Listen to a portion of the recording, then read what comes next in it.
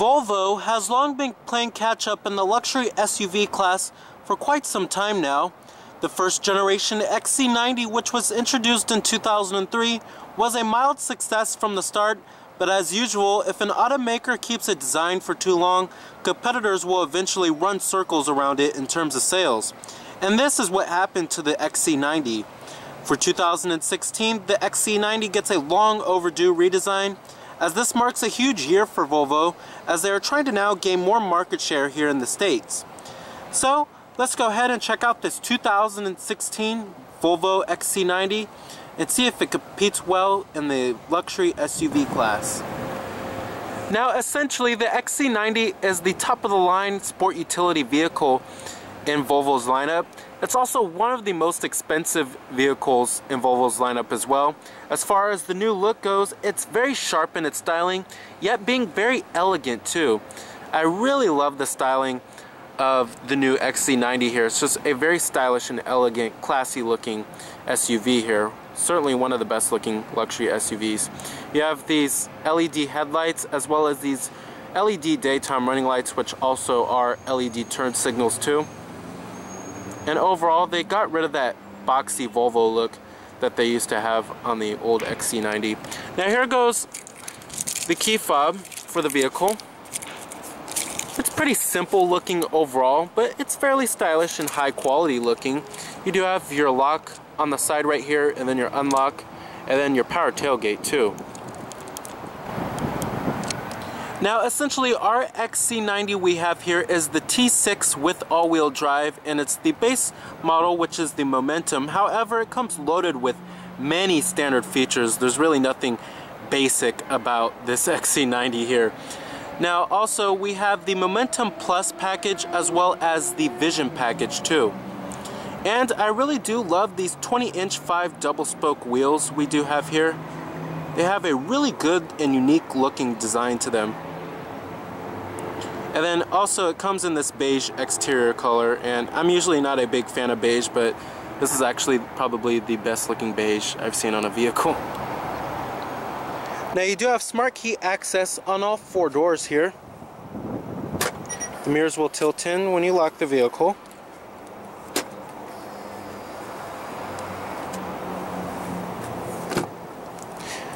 It also does come with a full-on black leather interior. Power driver seat with power recline and power lumbar too.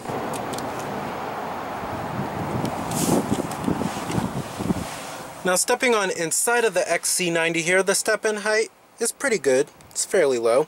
You're greeted with a very high quality looking cabin design.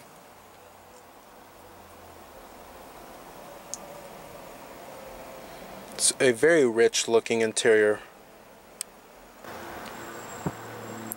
Now what's also pretty neat about this interior here is that Volvo used diamond cut materials to wrap around the start stop dial which is pretty neat and they also used it around the volume knob too.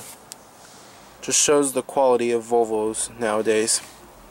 Now to start the vehicle just twist the dial to the right and then put your foot on the brake Easy as that.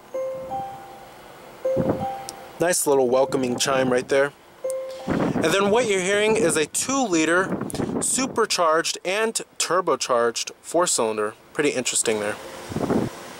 Now you do have a leather wrapped steering wheel and then you also do have this wood inlay part which is optional. Overall the steering wheel rim is actually pretty thin. Coming to your transmission you have an 8-speed automatic transmission. We also do have manual shiftability. No paddle shifters here though. And then putting the vehicle into reverse displays your rear view camera with guidance lines. And then you also do have trajectory as well. We also do have a 360 degree view camera as well as rear cross traffic alert and parking sensors.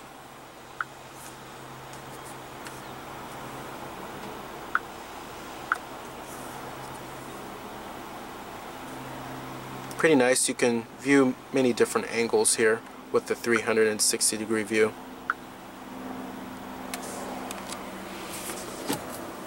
And I'm going to go ahead and turn on the lights. Make sure they're on, as well as the hazards. All windows are fully automatic in the XC90. And I'm going to go ahead and pop up the hood, check out the engine bay. Heated exterior mirrors with LED turn signal indicators.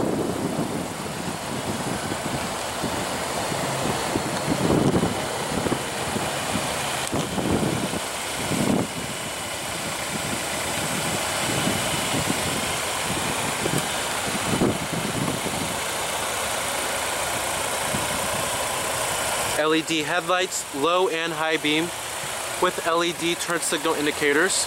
And you also do have LED fog lights too. And front parking sensors as well. Very stylish. Love the new look.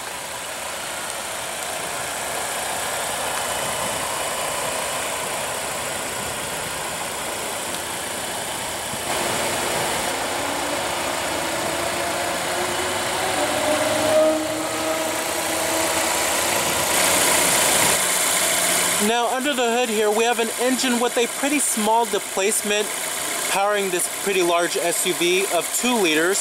However, it is supercharged as well as turbocharged and it is a 4 cylinder.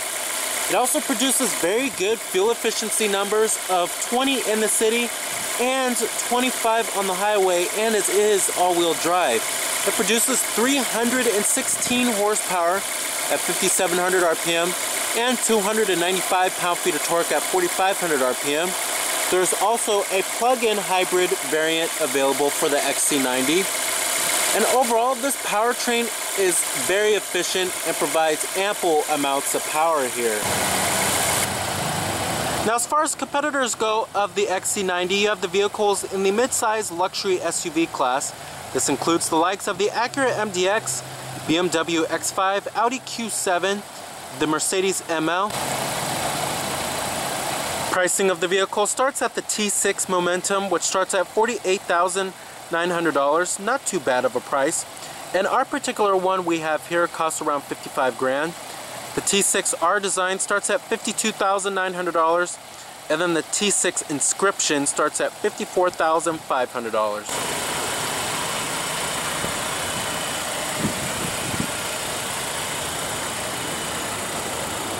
You also do have roof rails on the top right there.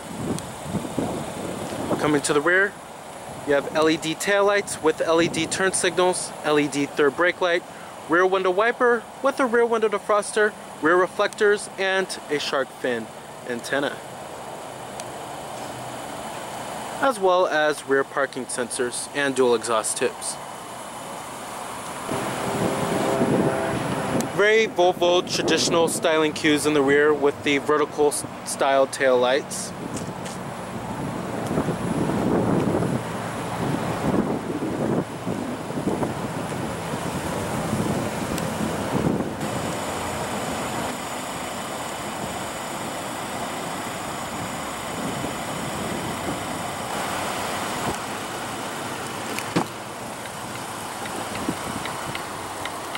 Course you have all of your basic power necessities, power windows, power mirrors, and then your power door locks, memory seat settings for three people. The buttons have an extremely high quality feel to them. Nice soft touch armrest, of course. And let's go ahead and rev it up.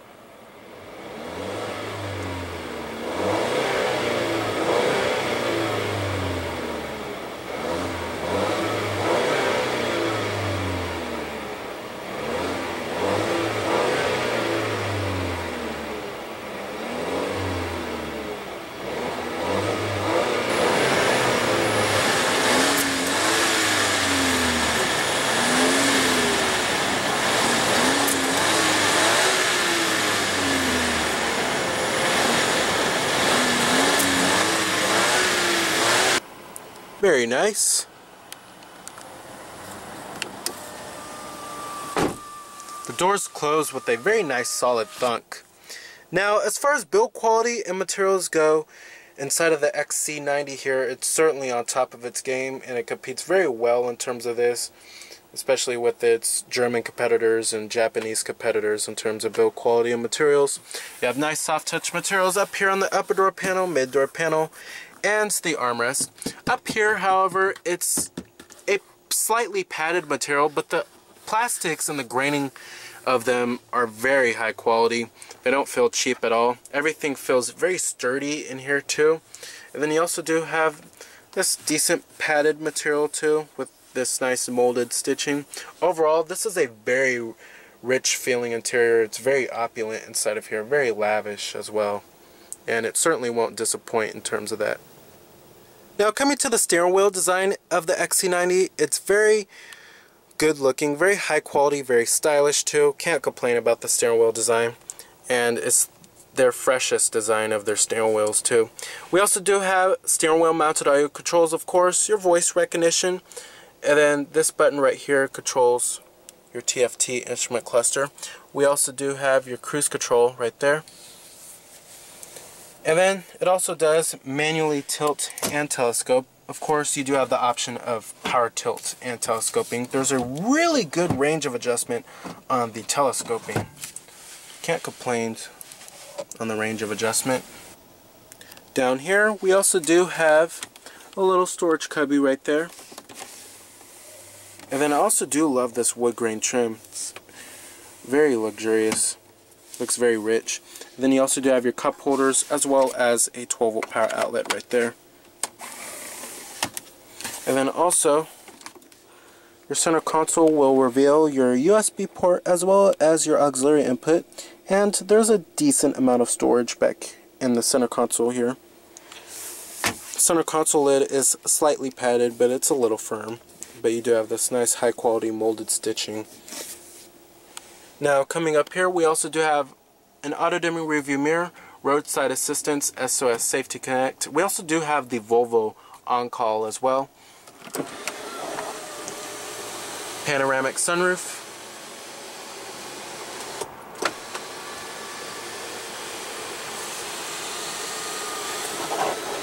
And then you also do have a powered sliding shade.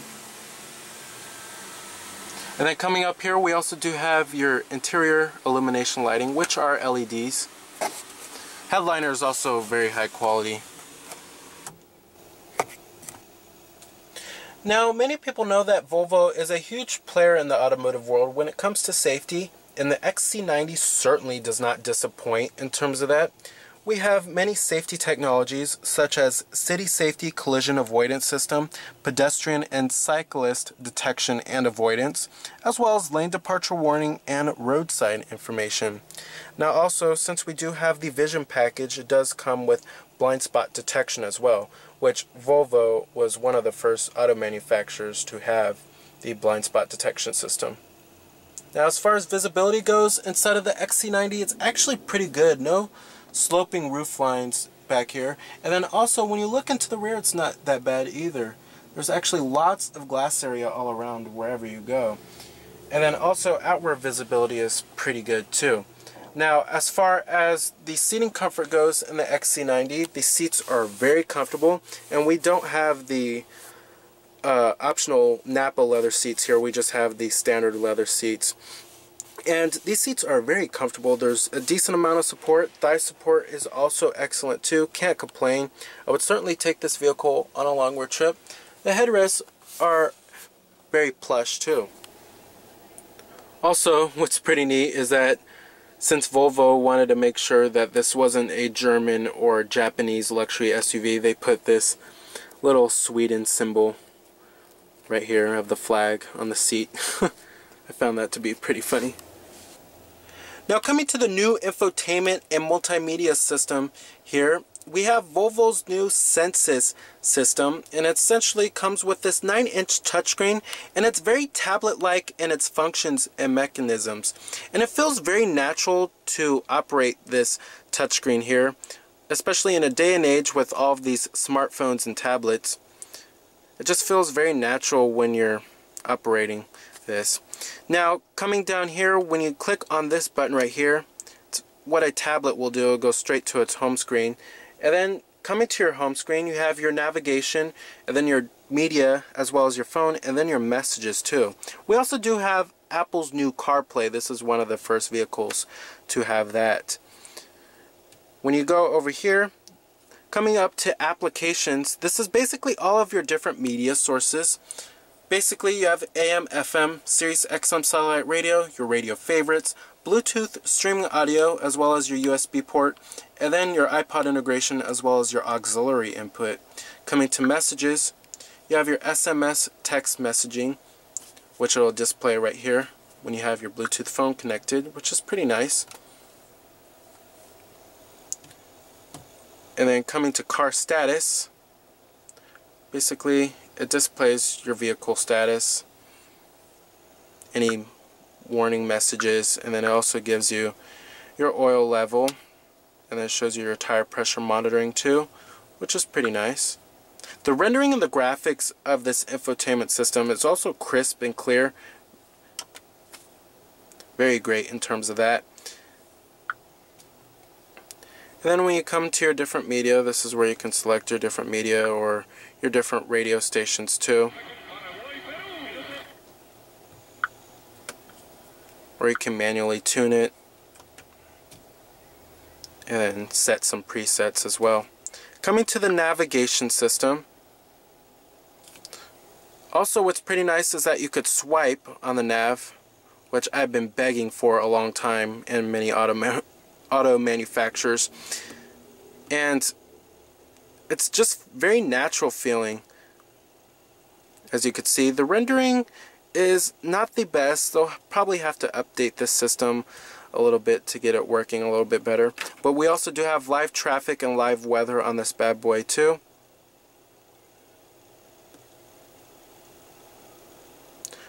The rendering is a little slow, but the graphics are pretty clear and easy to read overall.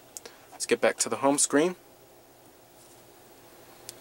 Then coming to your phone, you can hook up your Bluetooth phone, have all your contacts on there, have an integrated, integrated dial pad. And then when you come to your climate, this is pretty easy to do. You have your fan speeds right here, your different zones, and then automatic climate control. We also do have four zone automatic climate control, which is pretty nice. And then here's how you set your temperatures too. Overall, this system will certainly take a little bit of time to get used to. It's certainly not the most simple interface here, but it's just a very natural feeling kind of interface since it's pretty much like a tablet. You also do have your heated seats right here. Responsiveness is just very great on this touchscreen. And then coming right here, we also do have your vehicle functions, like your sport mode as well as your lane departure alert if you want to turn that on or off. And then your park assist, your cross traffic alert, auto start stop system. So when the vehicle comes to a complete stop, the engine will actually shut off to save fuel. It's another reason why this vehicle has such high fuel economy numbers. And then if you want to turn on and off your blind spot detection, and then any camera settings and then you can fold down the headrest when you're putting the vehicle into reverse too. Then right here we also do have your fog lights with the corner illumination your wiper service position active bending lights and road sign information if you want all that on. Overall I really do love this new infotainment multimedia system here I think it will take a little bit of time to get used to, but it just feels like a very natural feeling kind of tablet-like kind of interface here, and it's certainly very innovative. And then coming right here, we also do have, of course, your play and pause button, and then your volume knob, and then your seek and track buttons right there, and then your front window defroster and rear window defroster. And then right here is to open your glove box, which is pretty nice. Now let's get to the TFT instrument cluster here. Very great rendering and graphics on this of course. We also do have your speedometer which is right there and then your RPM gauge as well. And then your road sign information is actually right there. And then you also do have a digital speedometer in the middle right there. And then you have your exterior temperature readout up there as well as your digital clock and then your lane departure alert system. And then we also do have your trip odometer and then your fuel range too. And then your fuel gauge and then what gear you're in. And then to control some of the functions on this instrument cluster, you have to go to this button right here. And basically, you can control the trip information and then your media. You can change the different media source from here. And then your phone. And then navigation too. Pretty nice. But overall, really do love this TFT instrument cluster here. Now as far as driving the XC90 goes, it's pretty enjoyable to drive overall. The steering feels decently responsive and offers a decent amount of feedback to the driver here and is not numb feeling that much. And then also the ride quality is pretty good. It's very comfortable. It soaks up road imperfections pretty well. And then power from the powertrain, the 2 liter supercharged and turbocharged four cylinder here is actually pretty good. You'll find that there is a decent amounts of passing power and it doesn't feel anemic at all despite the small displacement. Overall, the driving dynamics of the XC90 is certainly very competitive and it offers a decent balance between good ride quality and pretty good handling as well. Now we also do have your different driver selectable modes. Now when you press down on this right here, you can toggle between your eco mode, your comfort mode, and then also an off-road mode and then dynamic. Eco certainly of course is the most fuel efficient setting. Comfort is just for everyday normal use. And then off-road is if you're going over a rough terrain. But however, this is not a true 4x4 vehicle here. Don't expect this to be like a Jeep Wrangler or anything like that. However, you also do have your dynamic high performance uh, mode right here, which changes the throttle response and the sound of the exhaust and tightens up the steering too, which is pretty nice. You also do have your electronic parking brake right here, as well as your automatic start-stop system. Alright, and I'm going to shut down the XC90. Twist it to the left like that. And I'm going to go ahead and check out the rest of the vehicle. Now back here you will find a decent amount of cargo space and it's fairly easy to fold the rear seats down by doing just this little simple mechanism. And then we also do have LED lighting back here and then a little storage cubby right there as well as right there too. But overall cargo capacity is pretty good. Then you also do have a power tailgate as well as an hands-free tailgate which you just wave your foot underneath the vehicle like this and the tailgate will automatically close. Now as far as build quality and materials go back here, very high quality of course, what you would expect out of a luxury SUV. Now to get into the third row, it is fairly easy. Just pull this up and then slide the seat forward and then just hop right in. And then if you want to fold the seat down, just pull up this lever and then push the seat back right down.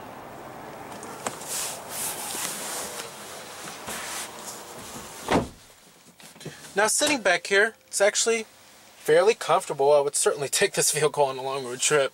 The seats are very, very comfortable, especially for second row seats. There's a decent amount of thigh support, and they're decently plush as well. We also do have dual map pockets, and then dual zone climate control for the rear passengers. And then you also do have a 12 volt power outlet down there and then your rear air vents. Like I said, this vehicle does come equipped with 4 zone automatic climate control. We also do have your cup holders right here and then a rear armrest. And the seats back here also do recline of course and they do slide forward and aft for greater comfort. At the driving position to where mine would be at, I'm about six foot. There's a decent amount of legroom to spare. Headroom, there's plentiful amounts of it. Can't complain about headroom at all. But overall, it's fairly comfortable back here. Now sitting back here is a different story, however, and this is certainly also only supposed to be for small children. I don't recommend full-sized adults sitting back here. But what's pretty interesting is that you do have a little spider right there, as well as a storage cubby and a cup holder too. And then you also do have LED interior lights back here.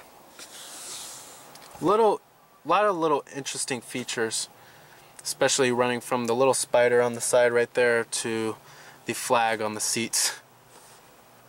Alright. Full powered passenger seat with power recline as well as power lumbar. Now to open the glove box, like I said, you have to press on this button right here. And then it's very high quality, lined with felt, and very damped. So the 2016 Volvo XC90 is a great mid-size luxury SUV and is certainly a fine choice in the class. With its very classy and elegant style, it's very innovative, 2-liter supercharged and turbocharged 4-cylinder, and it's very lavish and opulent interior and many high-tech safety features. So remember that this is Cameron Birch from Cameron's Car Reviews.